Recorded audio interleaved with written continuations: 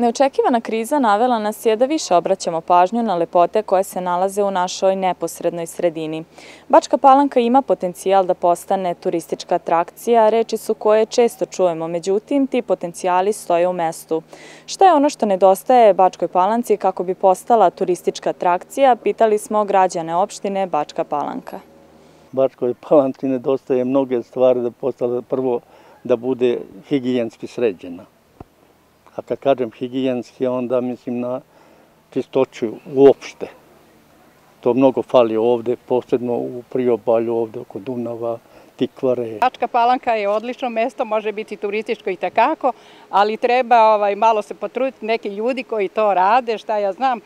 20 godina kako sam došao ovde, ništa nisam primetio da je nešto urađeno, pa da kažem svaka čast. Ne, nisam ovo da bi ogovarao neku vlast, ili ni, ni za koga ne. Ovo je pravo stanje da, da, da, da se ništa ne vidi, da ljudi dođu pa kaže čekaj svaka čast, nemoj tako, pa vidiš da je ovo urađeno. Bačka palanka za postavljanje dosta, postavljanje vreme. Da svugdje se nešto gradi i fabrike i, i u turizmu i sve, u palanci se slabo ulaže.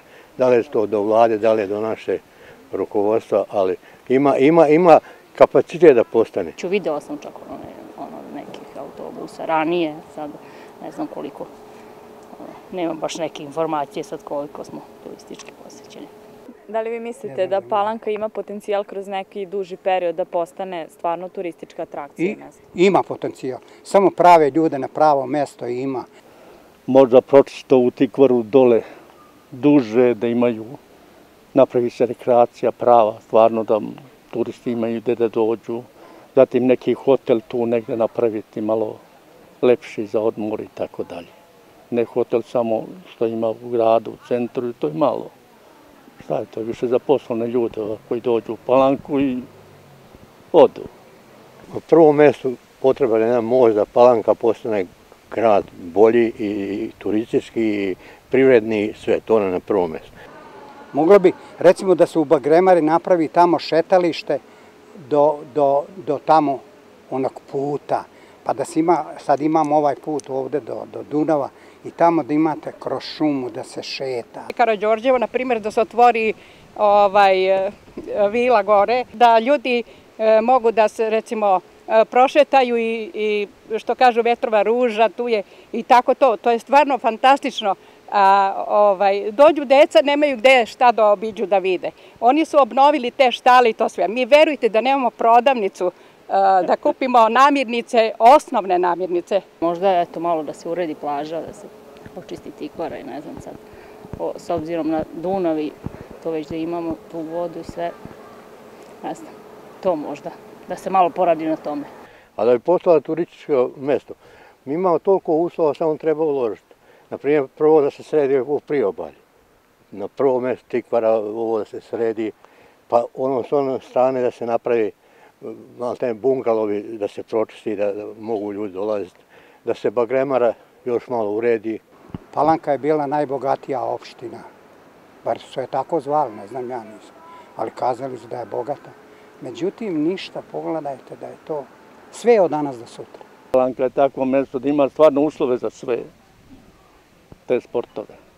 Počev od vode, počev od drugih stvari i tako dalje. E, mogla bi zaista da se uradi i da bude fantastično. To bi procvetalo, to bi bilo idealno, to bi ljudi sa svih strana, mislim, okolo e, dolazili čak iz Novog Sada i šta ja znam, sva ova mesta druga mogli bi doći, to je zaista prelepo mesto.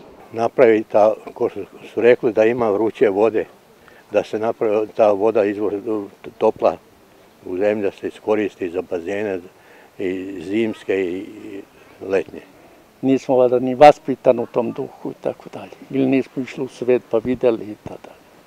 Da li vi mislite da će naš grad postati turistička atrakcija u nekom periodu? Pa ja mislim da bi trebalo da bu skoro, skoro je budućnosti, zašto da ne?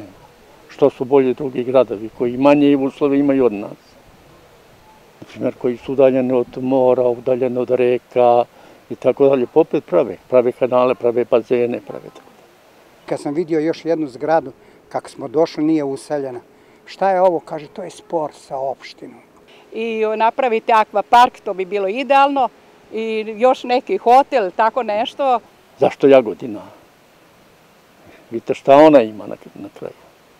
Pa je napravila, pa je poslala turističko mesto, samo tako. Sve malta nevestački su radili. A mi imamo prirodu, samo trebamo iskoristiti. Samo treba uložiti, ima velike kapacitete. Znači, tu je Karadžorđevo, tu je Bagremara, tu je jedno jezero, tu je drugo, tu je Dunav.